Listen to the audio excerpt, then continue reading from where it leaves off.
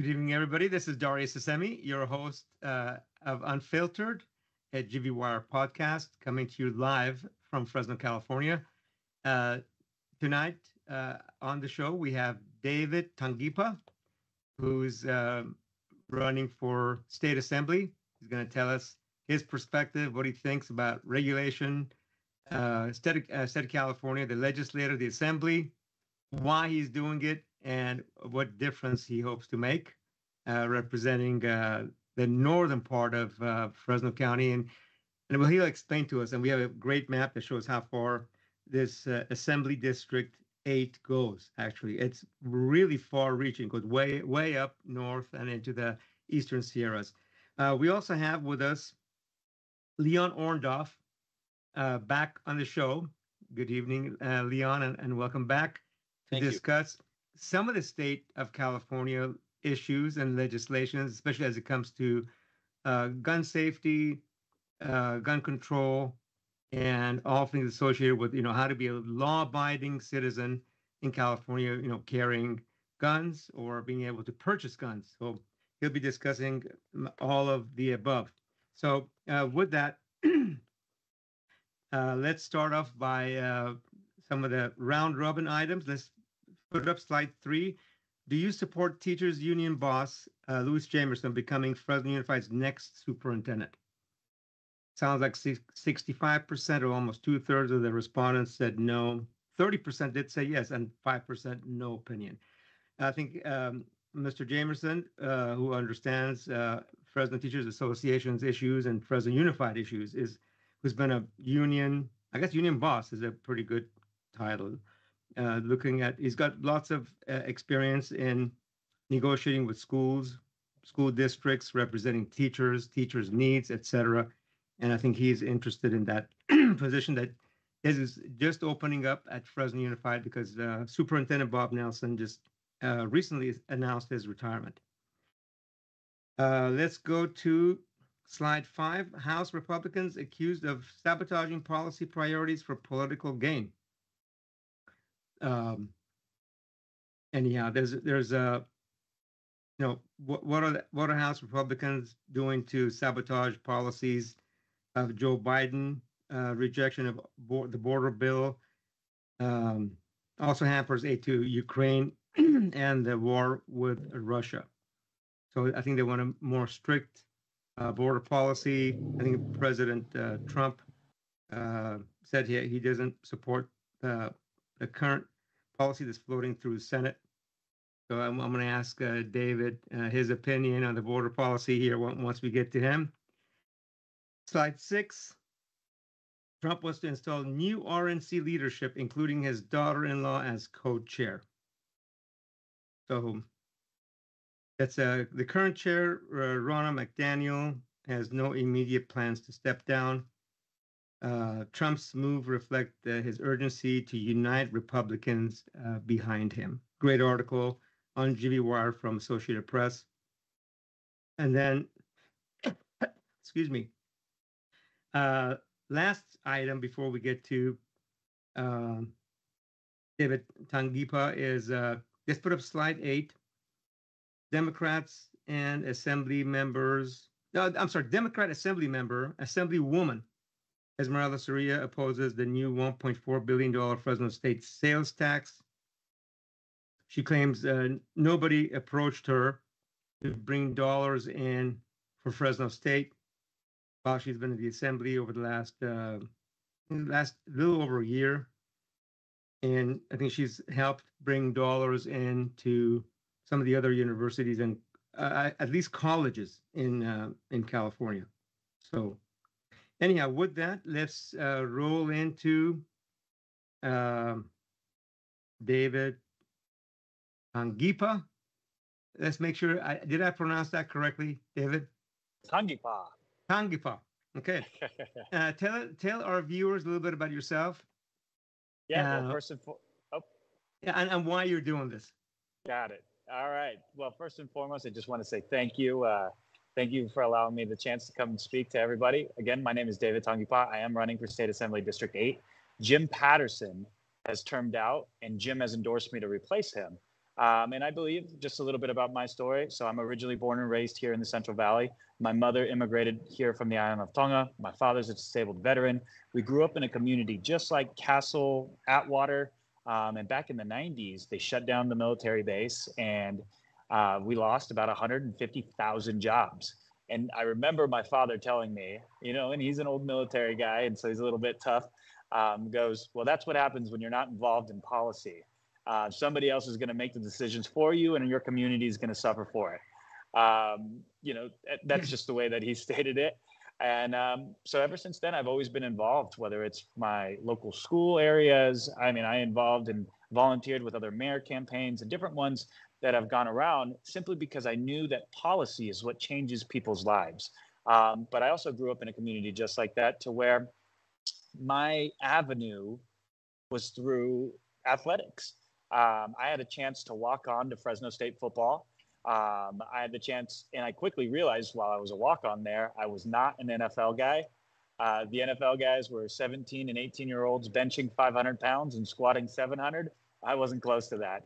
Uh, so I really doubled down on education because I knew education would be the greatest equalizer. So I got my degrees in political science, criminology, a legal studies certificate. I graduated early. Um, I got my master's in business with an emphasis in marketing. I started working in real estate and having my own real estate business um, as well because I saw that that was one of the number one ways to breaking generational poverty was through home ownership. And since then, I've been able to help over 60 of my friends and family, including my parents, myself, focusing on veterans and first time home buyers, and to do just about $20 million in sales. From that point, I even wanted to be more involved at the local level in working in policy. I started working for Fresno County Supervisor Nathan Magsig as his field representative.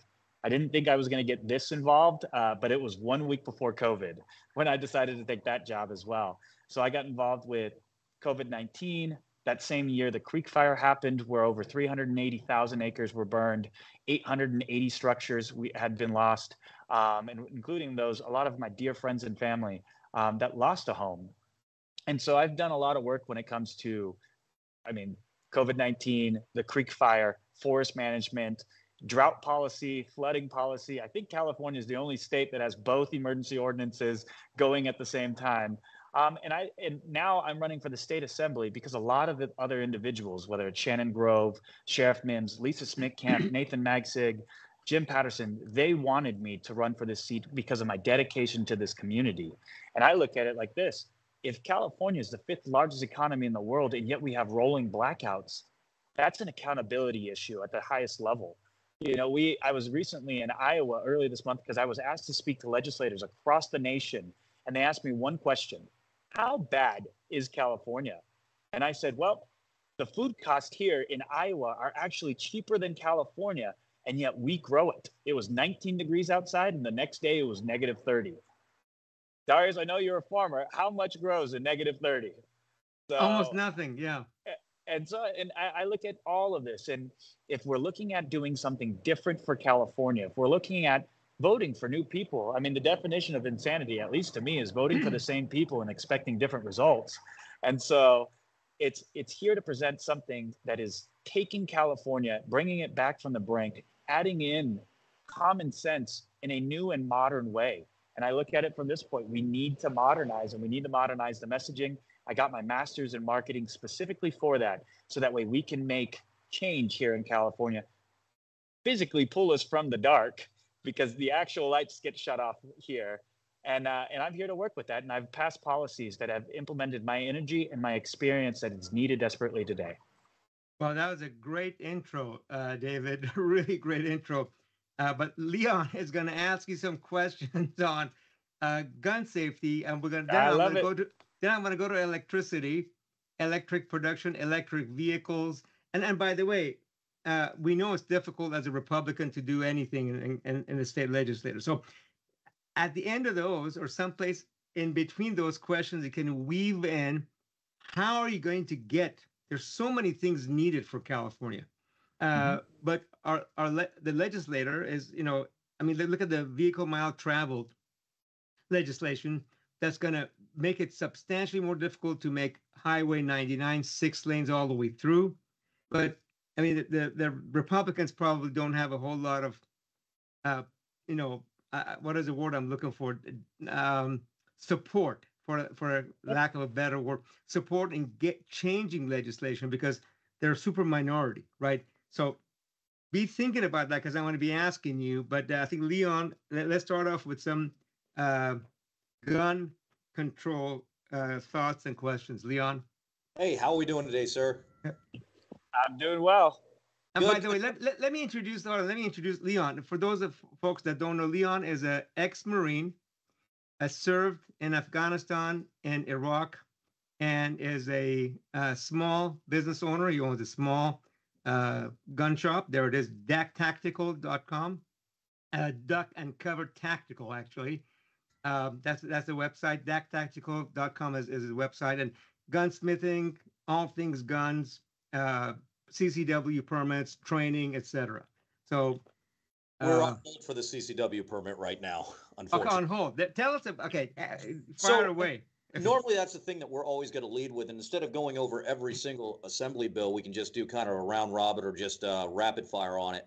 You know, everyone knows about SB2, and that's one that I'm sure you know affected not just uh, a lot of local businesses around the board, from sheriff's department uh, and PD, because well, you know, no more of those uh, permits are coming in for applications at this time. We do have about 10 to 12 instructors on that list, so hopefully that boosts up. But same thing, it really puts a stipend on things. Hurts my business, hurts other ranges, other gun shops, and everything else. To also include um, include like your live scan and everything else. So I guess where I'm going to go with this of everything that's out, what kind are you planning on doing with some of the gun stuff. Right now, it seems like California's just throwing stuff against the wall and it's getting passed. And we don't. You said you played football. There's no. We don't have any linebackers. We don't have anyone blocking for us at this time.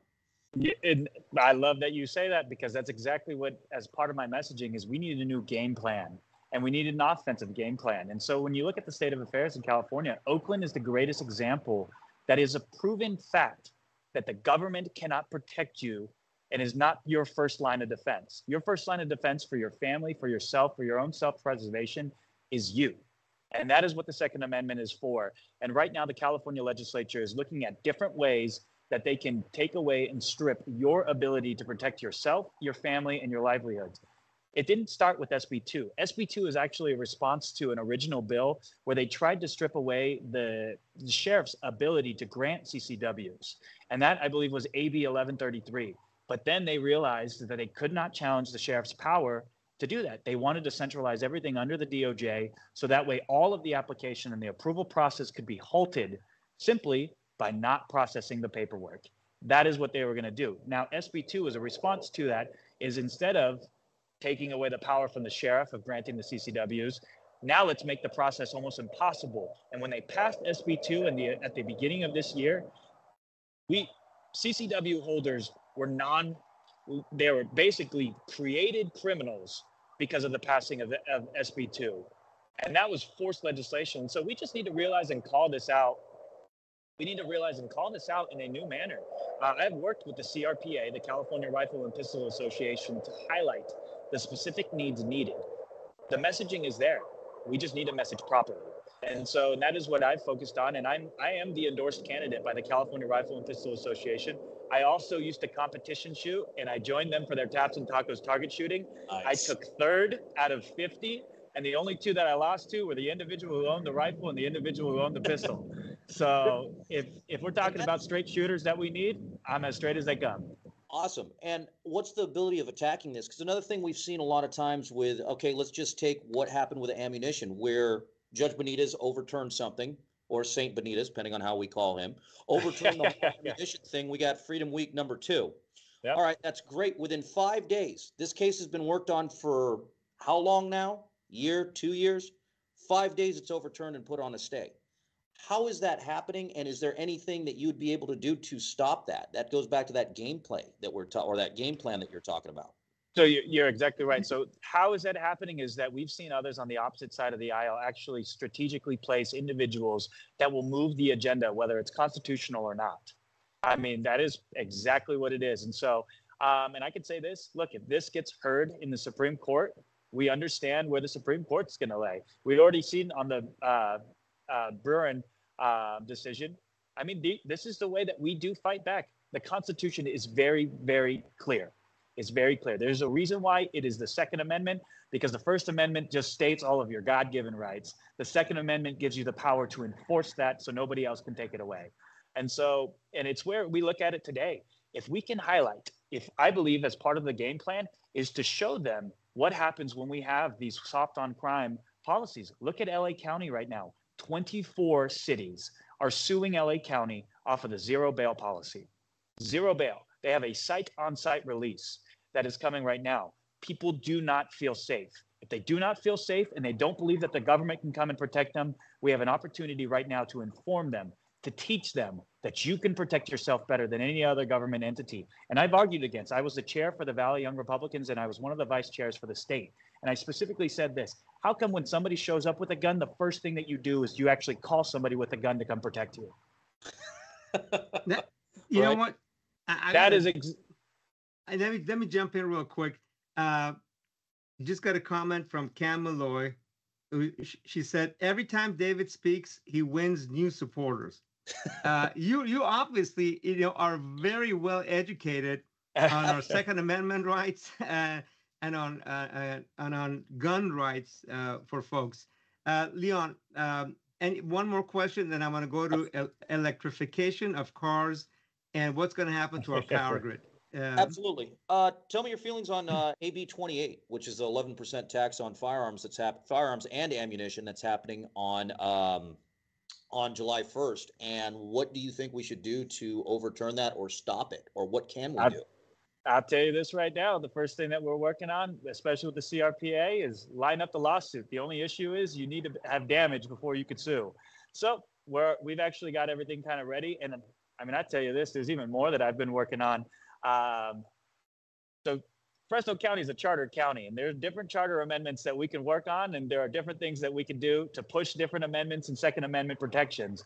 That is something that I am specifically working on to make Fresno County a Second Amendment sanctuary charter county. If they want to play the game, then it's time to play the game. It's time to go back. Absolutely. And if they're if they're going to push on that, then we, it's a time to add into the Fresno County Charter that we will take a stand. We will take a stand, and it grants us the right to do that because as a charter county, we have a partnership with the state of California, and California has to respect that partnership. Absolutely. And that's one of those things with a lot of the guns that are coming in right now. We're getting triple taxed on them if that 11% gets hit in. You have state, but also some of the guns coming in, they're getting the California tax. Hey, man, they got to Yep. go through a drop list and all that other stuff to be put on the drop roster. So that makes that's really nice to hear that. And again, thank you for hearing my questions. Greatly appreciated. Um, thank you again, man.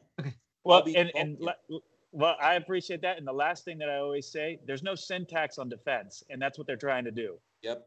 You hit the key word too, the sin tax. That's what they're calling it.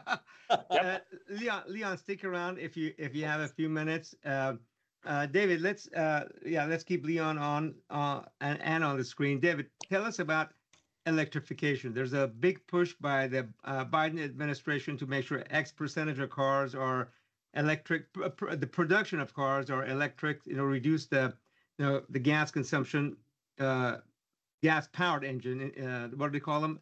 Internal combustion engines. ICE Internal of ice- combustion engines. uh, uh, limit those, uh, and and of course the uh, the growth in electric vehicles is shrinking. People go, we just can't afford that kind of a money, and knowing that our tire replacement is going to be more expensive, uh, battery replacement. If we have to, if we keep our car long enough, you know, what are we going to do with batteries? Uh, what is the warranty on batteries? I, I can't remember exactly what it is. Call it ten years.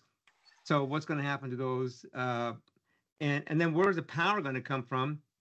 Um, the electricity supply going to come from? Because it, building new power plants, in California is very difficult. Even getting solar plants approved is very difficult with all the envir- environmental regulations you got to go through. So, what are your thoughts on on electrification? And and and again, think about you know how can you make this thing where it's going to be a pragmatic solution at the legislator right? we can think all the things we want, but how do you get something through, or at least try to move the needle, even if it's one millimeter or a sixteenth of an inch. Uh, how, how, how do you work? Uh, how, how would you work around that? Electrification and electric supply. Yeah.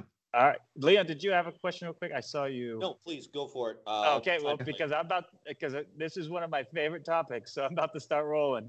Oh, yeah, go for it. All right. Well, so as we all know, and we just look at California today, by 2035, all new vehicles are supposed to be electric vehicles. But yet, I mean, I talked about it here. We're the fifth largest economy, and we already have rolling blackouts. By 2030, 50% of all of the energy produced in California is supposed to be from green and renewable. Well, then let me ask you this question. In 2002, when SB 1078, the California Renewables Portfolio was passed, they left out large scale hydroelectrical facilities being considered green and renewable. Well, as chair for the Young Republicans, I actually asked a lot of these environmentalists and I did a panel with UC Berkeley. And I said, well, can you at least let me know if it is it when it gets to 30 megawatts? Does it start getting less and less green when it hits that 40 megawatt line? And then after 40 megawatts, for some reason, it doesn't get green anymore. So then I look at reviving and working in a pragmatic sense, and I tell them this. So in 2012, Jim, Jim Patterson tried to propose a bill that would have added large-scale hydroelectrical facilities onto the green energies portfolio, um, but it it died. It didn't work. Adam Gray picked up that same bill. Adam Gray is a Democrat. It died. Again, it didn't work. Anna Caballero tried to do a one-off shoot for Don Pedro because Don Pedro produces about 74 megawatts. If we can end rolling blackouts today by simply including large-scale hydroelectrical facilities onto the green energies portfolio. The one word that Jim Patterson and I believe Adam Gray left out was the word existing. If on one side, their number one thing is about carbon emissions and different things, um, and looking at it from this way, and my side is about ending rolling blackouts, and I call out these California policies of scarcity, then all we need to do is include all existing large scale hydroelectrical facilities because some of those on the opposite side of the aisle did not want to incentivize dam building. Okay, we won't incentivize dam building. We will actually we will increase the, the supply, lower the demand, end rolling blackouts by just including large scale hydroelectrical facilities. The Helms project right here in Fresno County produces over 100 megawatts, over 100 megawatts of power. And it's not considered green and renewable, even though it doesn't produce a single carbon emission and is identified as a net zero carbon, em- carbon uh, providing facility. And yet it's not included. We have California policies of scarcity, and we have individuals who have weaponized the entire process under the guise of compassion. My master's in marketing is to highlight that. We are sitting physically in the dark because individuals haven't been able to get this message out. I have stood on this and I will use it every single time because when I have done these debates with individuals across the aisle, I simply ask them, how come?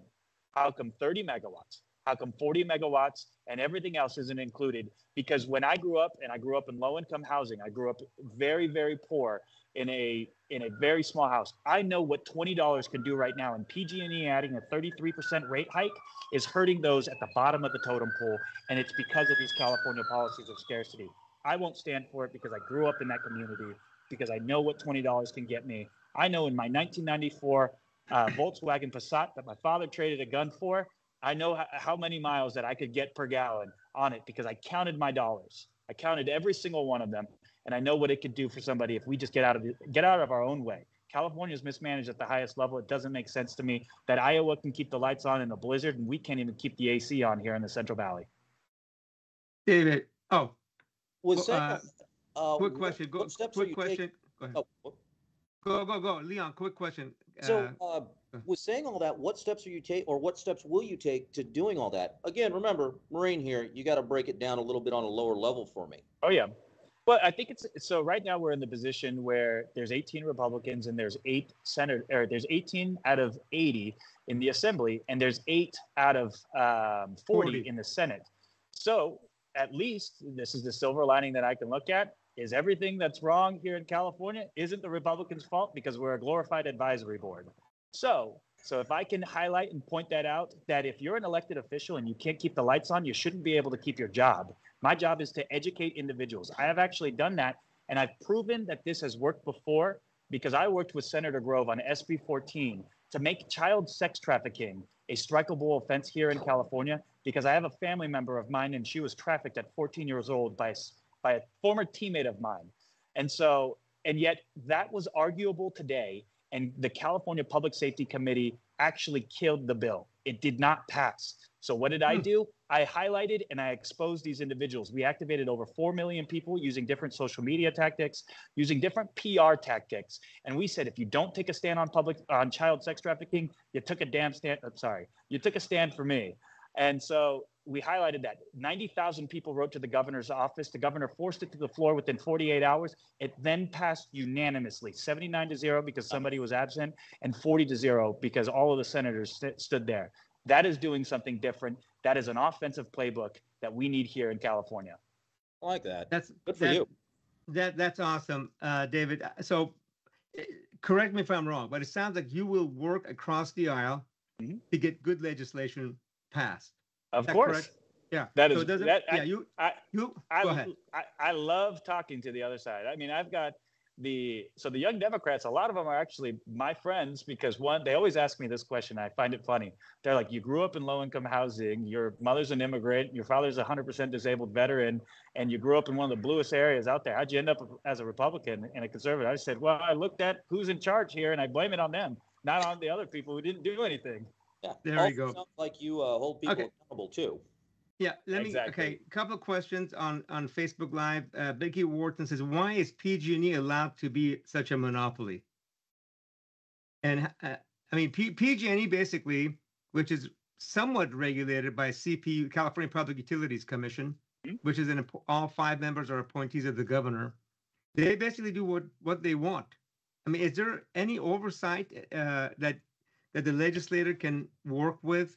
I mean, PG&E's got another rate hike coming, another rate hike coming sometime this summer. What was it? AB? I can't remember what the, the 202 something, 205, where you get charged a surcharge by your um, income, income over thirty thousand dollars a year.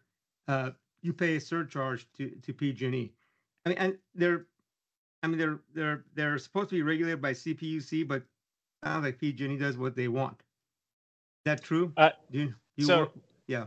I, I do, and so actually, I'm, I'm fairly familiar with. So what had happened here in California, especially with a lot of the lawsuits that have happened because of the fires, uh, PG&E took on almost all of the liability. Whenever I believe that some, most of the liability um, here in California is actually on the mismanagement of our forest. I've worked in forest management, and as I talked about the Creek Fire, I worked specifically with Supervisor Nathan Magsig um, to highlight some of these forest management issues because I mean, Darius, you own a business. You know what happens when litigation comes and they come after you, and you've got to spend cost on lawyer, and you've got to do all of this. Now they have to protect their assets, and as a, I believe it's called an IOU, an investor-owned utility, um, is what PG&E technically is, and it was, it's it's an interesting way, and it's fairly archaic in my opinion. But as utility companies were putting in infrastructure into some of these areas, they also wanted to own the infrastructure in, in a non-compete uh, contract and so that's kind of why we have all these random ones, whether it's PG&E, SMUD, um, Southern California Edison, that have some of these isolated areas. Um, so I can see at least where it started out that way. But then if you force all of the liability when it comes to the mismanagement of forest onto these utility companies as well, that doesn't make sense. Um, and so I look at as proper forest management as part of the solution to a lot of these rate hikes. We look at the trees and the tree density that we have right now. Uh, UC Berkeley has a study that's called the Blodgett Forest Project that identified that our forest right now about 800 trees per acre. They also identified that a healthy forest is in between 200 or 20 and 200, depending on the resources available. So if we're at 800 trees per acre, 800 to 1,000, you know that's like planting a thousand tomatoes in a one by one box. You'll never have a healthy tree, and you'll never have a healthy forest. So if we can look at that, we can at least take the dead trees away. We can, we could promote old growth trees. We can protect a lot of these pg&e lines. We can protect a lot of the infrastructure. We can protect the homes. We can protect all of the cost that they have to now incur because of these mega fires. And we can actually challenge them on some of these other things. And then i also look at i mean pg&e they are the owners of the big helms project. We can lower their costs by simply increasing the supply which lightens the burden on the demand by including that because PG&E in California has these regulations that 50% of their power generation has to come from green and renewable. Well, if 50% has to come from green and renewable and they own all these dams, they can meet that requirement immediately without putting in infrastructure which are additional cost on a business. those are those are really really fascinating points uh, you bring up. Uh, and then a couple other comments on um, Facebook Live. Cam Malloy, this is the type of young new leadership we need statewide and nationwide. now that Cam is thinking about what else he should be uh, working on. Also, is there any chance of the income-based part of AB 205 that puts a charge on electric bills statewide being repealed? That is the legislation that was passed by legislat- le- legislators and then signed into law by the governor. But now there's a lot of Dems that are opposing it because they, they're getting all these uh, complaints from middle class Californians that go, oh my gosh, I'm going to be paying 40 $50 a month more, but not using any more electricity just because of my, I'm, I make over $30,000 a year. So um, PG&E is a joke, Robert Wharton. So anyhow, there, it looks like there's movement on the Dem side. So, and it sounds like you, you said you're going to work across par, uh, aisles, uh, across party lines. And if, if uh, you get elected, you'll work on looking at modifying AB 205 or amending it or doing something that makes it more balanced so the middle class Californians don't get uh, hurt, basically. Oh yeah, what well, one hundred percent. I mean, it does not Yeah. make sense that there it's an income driven charge. That means the more successful that you do, the worse you actually get to benefit. I mean, that doesn't make any sense to me. Um, and it's just highlighting a lot of these middle class individuals. And I tell people this: I don't want them to leave. California is worth fighting for. We don't need any more California refugees. We need some California rebels who are actually going to show up and and fight. I mean, I look at not only the issue when it comes to this income driven burden that just because you you've worked your and look i've done it this way where i've worked myself into a position where i was taxed $40,000 in some of my real estate income and i had to claim that much even though there could be strategic ways that i could find my way around i claimed that much because i needed to be my mother's sponsor for her american citizenship and take make it easier and i just thought to myself that $40,000 i could have taken helped my younger brother, helped my sister, and helped anybody else actually purchase a home. But instead, the benefits that we get here in California, being the highest taxed in the nation, they're not there. They're not there in, in the, the legislature. I mean, if we're looking at it, if we're asking for accountability from the individuals who in 2022 and 2023, we had a $98 billion surplus, and now we're at a 30 to maybe 60 to potential $110 billion deficit, I think we're asking the wrong questions. So as my part of my job, it was actually to find individuals, whether the Democrat, Republican, or independent, that just say, I'm tired of California can't. We can't afford it. We can't build. We can't do anything.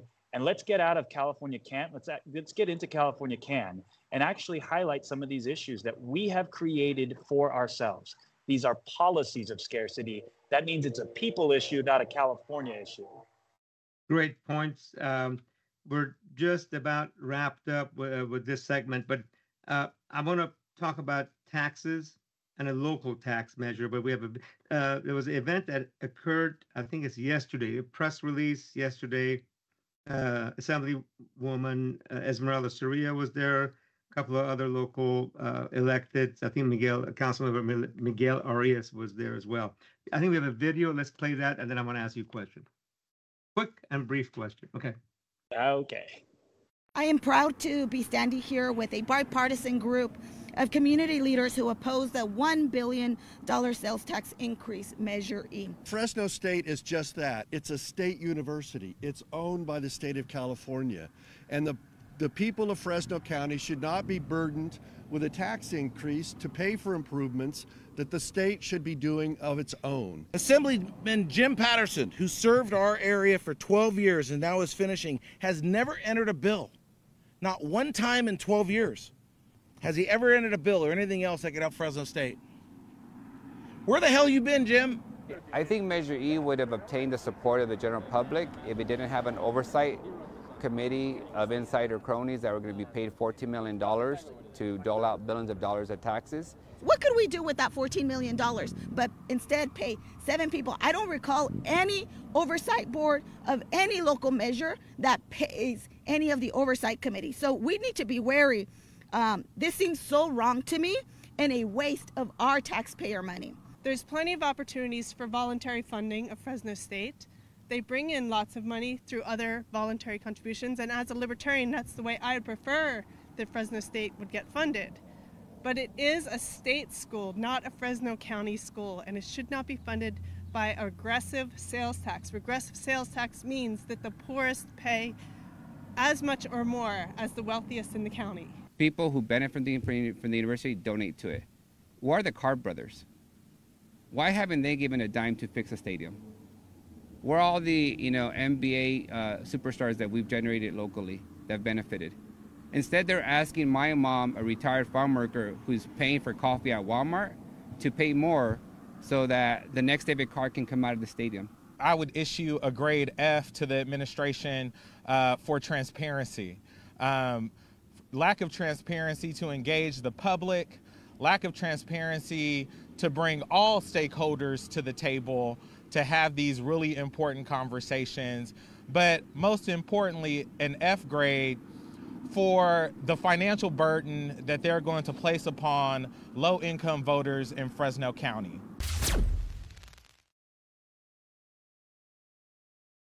Actually, I hadn't seen uh, um, that video until now.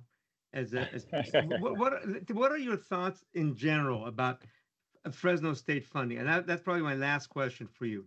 Um, what what what? How do we? You know, I mean, Fresno State has got a lot of dilapidated facilities. Uh, has got you know a lot of um, programs that need help. There's some conversation uh, amongst folks that says, "Hey, we need a statewide tax to fund all Cal State universities, or the the the the legislator needs to look at the annual budget, which is over 300 billion, which after in inflation adjusted is about what is that? Uh, 65% more than when it was in 2010 even though the pop, population of the state is the same so what, are, what is the state doing with the money some some transparency some kind of an audit uh, so uh, wh- i think an audit th- is specifically yeah. needed okay yeah and so, what, and, and, and, yeah I'm sorry. Go. What are your thoughts on how, how do we deal with Fresno State? Their, their issues. I think. Well, I, I think there's a lot there, and I think it's especially. I mean, we're calling out the state. I mean, this is calling out the state when it looks at as um, from the accountability sense. I mean, again, you look at a 98 billion dollar surplus, and we couldn't get funding for ADA requirements. That's one of my biggest things that I'm worried about. I know that there's a lawsuit right now in Kings County and uh, Tulare County that is actually going around and they're suing K through 12s for not being ADA compliant. I can tell you this, that group's probably not going to stop at just K through 12 and they're going to start targeting other areas and dilapidated buildings that, you know, and I, I have always heard this position. And not only that, when it comes to to me, you know, Fresno State changed my life. And I also know what a education again here has made me a business owner, somebody who can sponsor their mother's immigration, change the lives of my own family where we were able to take care of our own community through the education I got. So I'm looking at, I mean, I'm running to bring, I, I we heard Brooke Ashjian right there, and Brooke Ashjian is the uh, uh, chair for the Lincoln Club. The Lincoln Club has also endorsed me, even though they, they are against Measure E. And I look at bringing that accountability back to Sacramento and highlighting it. If we're at a $98 billion surplus, I'll tell, I'll, well, I'll tell you this, I will present that bill um, to ask for funding because Fresno State is one of the diamonds of the valley when we look at the value that it brings, the individuals that are here. I am here because of it. I have created these connections, whether it's Supervisor Magsig and everybody else, because of it. And I just look at it. If a lawsuit comes and they sue off of ADA compliance, just one example, and just because I lived my life there and I practiced there for five years, I just ask people this where's the elevator in Bulldog Stadium? you know and if there's an emergency or if there's potentially a shooting right there off the sixth street uh, in the area and the stadium needs to be evacuated and people are being evacuated a little bit older and they get bumped and they fall and they break their hip and they pass away or something like that. That is a hundred million dollar lawsuit that will settle for 15 that is a big worry of mine. let me let me ask this question david. You know would you if you get elected would you ask the governor or the legislator to fund, to come up with additional funding to repair you know, just like what Esmeralda, uh, Assemblywoman Soria said, Esmeralda Soria, there's funding available. If surplus years, it becomes really easy. In in uh, you know, in years where you have a deficit, it becomes more more complicated. But you know, we pay property tax and sales tax that goes into education, education funding. Would you work aggressively with the state legislator and the governor and say, okay, we need to fund not only Fresno State but all Cal State systems that are have dilapidated uh, buildings and infrastructure, and But- less reliance on local dollars and more reliance on the statewide dollars. So I so it's one of the things that I've learned um, from my position. I think I can speak their language very well, and I can tell them. Um, I, I, and I'm going to say this to them too. Fresno State is a minority majority CSU system. It's in one of the most impoverished areas and one of the most dilapidated areas, and we need you to step in there.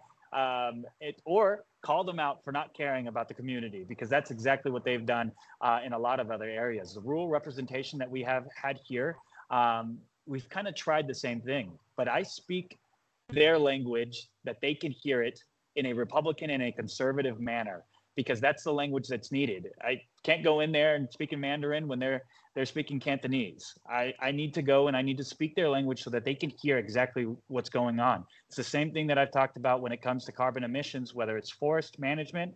It's the same thing that I've talked about when it comes to utility. It's the same thing when it comes to talk about accountability and fiscal spending. As a business owner and a successful business owner, I do believe I have the experience to do so and also the means to call them out when we don't get our just desserts.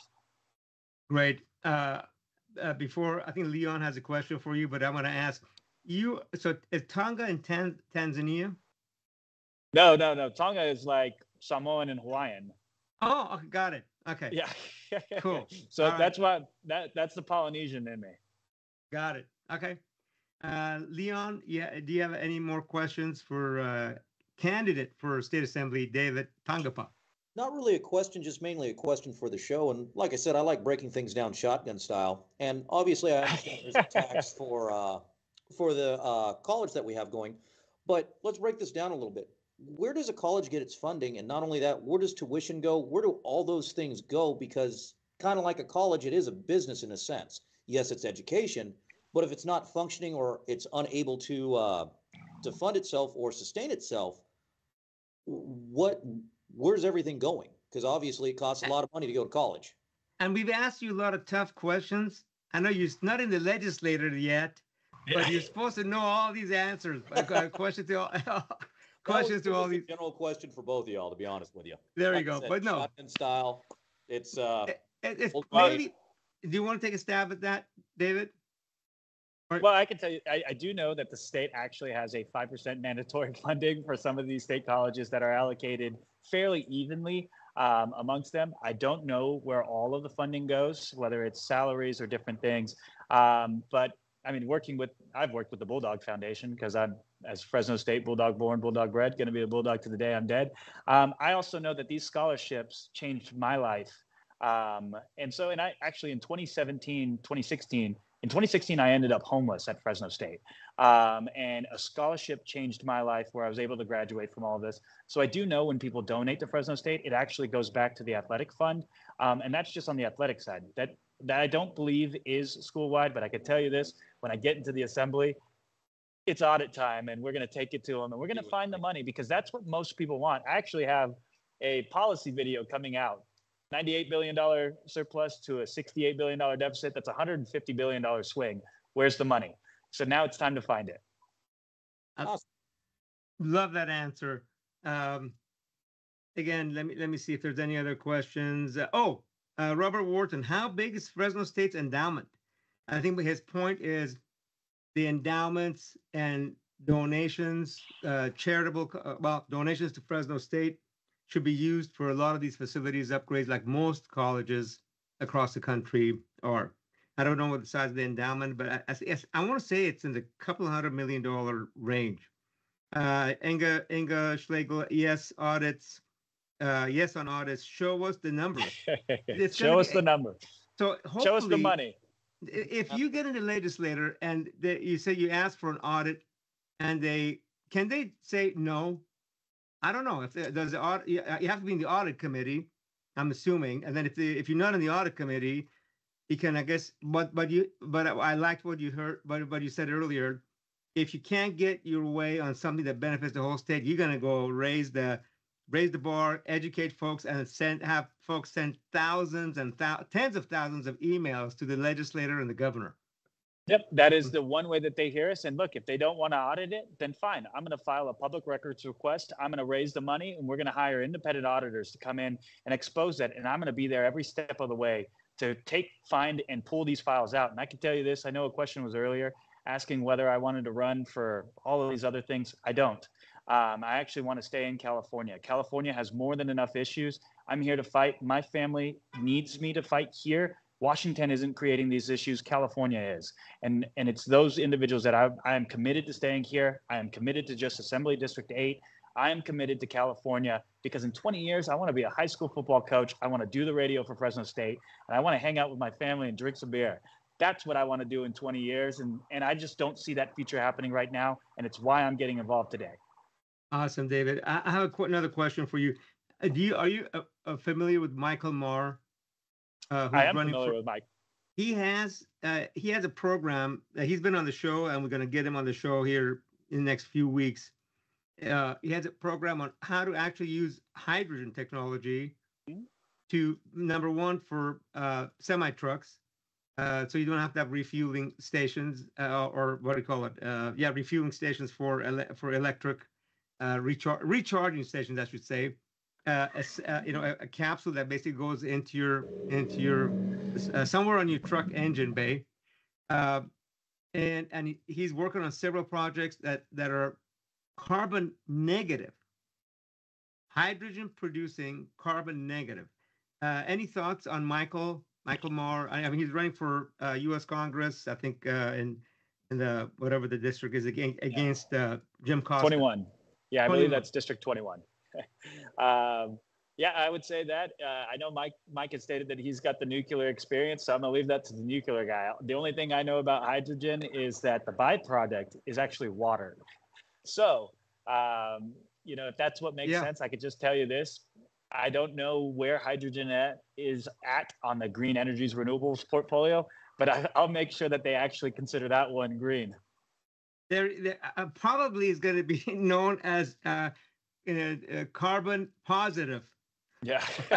even though it's carbon negative. Inga says, please audit high speed rail. How many billions Ooh. are we spending? And we have no results after a decade, basically. It- But- that I can tell you this, that is going to be one of my number one things. I am actually working on something right now that is very, very interesting when it comes to high speed rail. Um, and it's just what people look at. I think people are really looking at for accountability here in California. I studied abroad in Australia and I got an international business uh, certificate doing that.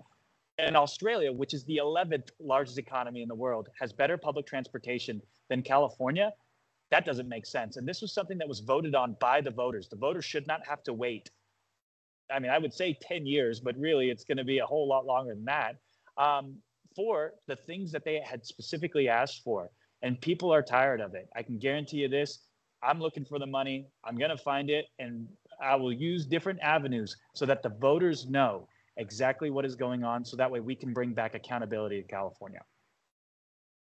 Okay, uh, one last comment on Facebook, and then I want to see if Leon has any final questions. And then uh, David, you'll get the last word on closing statements. Cam All right. she said, I'm a Bulldog born and Bulldog bred too. And I think we have a great new president, uh, uh, Dr. Um, Saul Jimenez Sandoval. And I don't uh, think you have any problems with audits or transparency of spending of the funding. I also think if Measure E pa- is passed, he will implement it very well. Okay. Uh, so with that, Leon, any uh, final questions? No, I'm good, man. Thank Okay. you for having me on. Okay. Impressive. Okay.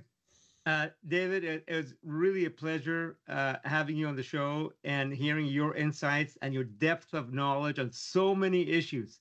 Uh, it- it's, I got to tell you, it's, it's exceptionally impressive uh, to know so many things. You're not even in the assembly, but you've done so much research and you've already done so much, such a, so, so much groundwork uh, on educating yourself and also how to get people's attentions at the assembly. I love that. I love that. I mean, two mothers, was it one or two mothers in 1980. One of them, uh, their daughter got killed by a drunk, and our law they they went about changing the laws of the country, right? Uh, the the the drinking. That was that was drunk. mad. Mad mothers mothers Mothers against exactly drunk mothers drivers. against drunk drivers exactly. Yep. So, Uh, wow.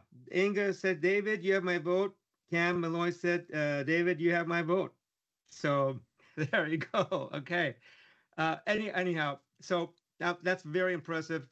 Final thoughts uh, on you to the GV Wire Unfiltered audience. Uh, the number one thing is I just look at I'm a tried and true Californian, and I love this state. I love this state, and and I love the people here. I love the people here because my life has changed uh, because of them. You know, I've I've looked at it from my own business standpoint that I could go off and I could be happy and all of this, but this community wrapped its arms around me, and now it's my turn to go back and work for them.